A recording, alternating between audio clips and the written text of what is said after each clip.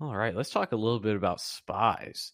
If you remember earlier on when we started this course, we talked about during the intro section about how Jasmine doesn't need you to use the DOM and doesn't, by its virtue, the browser for the test to actually work.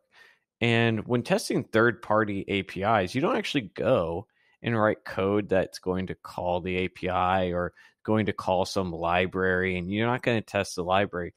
Typically, what you're going to test is that your code calls the library and passes the correct data, and spies are really great for that. If we go into our user.js class, if you remember, we have this get full name property, which is going to return the user's first and last name, or the first and last name and middle initial. We have a new method here called say my name.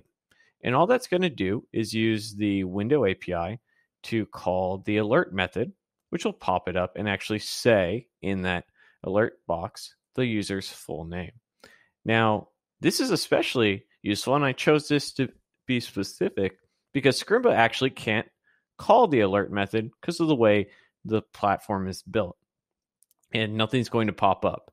But we can write our test to actually see that it does get called using a spy. So it's quite perfect for this example. So if we go and take our model and we set our first name here, oops, our first name equal to Dylan, and then we go ahead and set our model dot last name equal to Israel. We need to set up our spy on, that's just how we set up spies. It takes in two parameters the object you want to listen to, in this case, window, followed by a string. And what's our string? Well, it's our alert method, the name of what you want to spy on for that object. We are then going to take our model and simply call say my name like any other act because that's what we're testing here. And then we're going to write our expectation. Now, what's our expectation? Our expectation is that our window dot alert was, and this is a new matcher, to have been called. That's our expectation.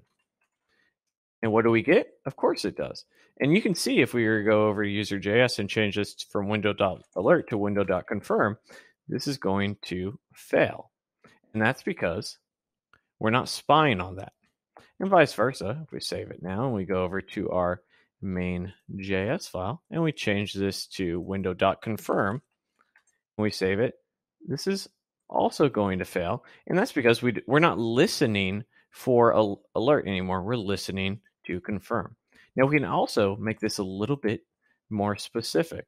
There's another expectation here that, or another matcher when we listen to our, our window alert, and that's to have been called with, and we can actually see what it it was called with the properties that our user.js file here was called with. What is the the value we're passing in? Full name. So in our expectation here, we're expecting it to be Dylan Israel.